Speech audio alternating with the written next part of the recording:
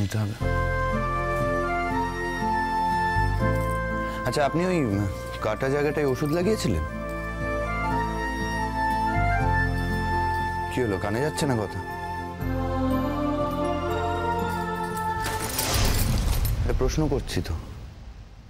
বোঝাতে হবে না আপনাকে আমার জন্য?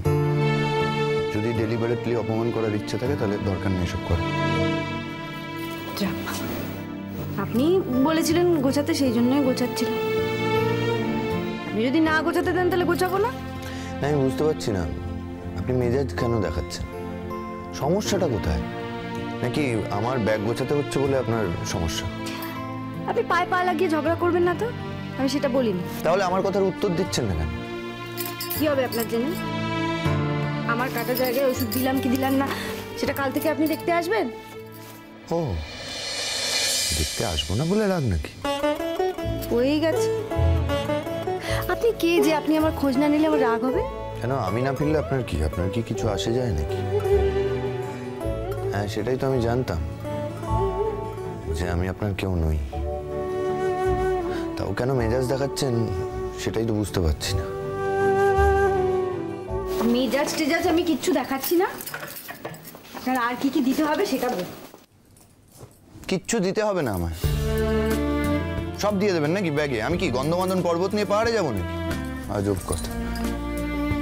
আর কি ভাবছেন আপনি? যে আমি আর কখনোই পাহাড় থেকে ফিরে আসব না। এই- আমার শেষ যাও একদম বাজে কথা বলবেন না আপনি। সব কিছু না একটা লিমিট আছে। আপনি কিন্তু আবার লিমিট ছাড়িয়ে যাচ্ছে কথাগুলো বলতে আপনার ভালো লাগছে আমার শুনতে ভালো লাগছে না। কেন? আমি না ফিরলে আপনার কি? আপনার কি কিছু আসে যায় নাকি? আপনি বুঝবেন না। আপনার জীবনে তো আমার মতন কোনো দুর্ঘটনা ঘটেনি?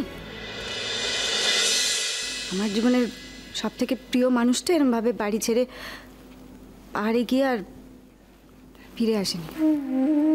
বুঝবেন না সে তো আপনার প্রিয় মানুষ। আমি তো আপনার প্রিয় মানুষ নই, পছন্দের মানুষও নই।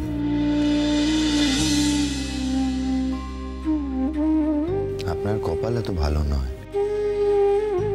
আমি এত সহজে চিরকালের মতো হারিয়ে যাব না।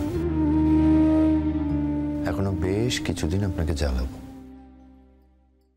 হ্যাঁ জানি। কিছুদিন। কি? বলছি আমি জানি। কিছুদিনই আমার মেয়াদ আছে এই বাড়িতে। এই আমায় একটা কথা বলুন আপনি সবসময় যাই যাই করেন কোথায় যাবেন আপনি? আপনার যাওয়ার জায়গা আছে? নাকি রিজুদার উপর ভরসা করে বসে আছেন? কি গ্যারেন্টি আছে যে রিজুদা আপনার জন্য বসে আছে? এরকম হতেই পারে যে রিজুদা হয়তো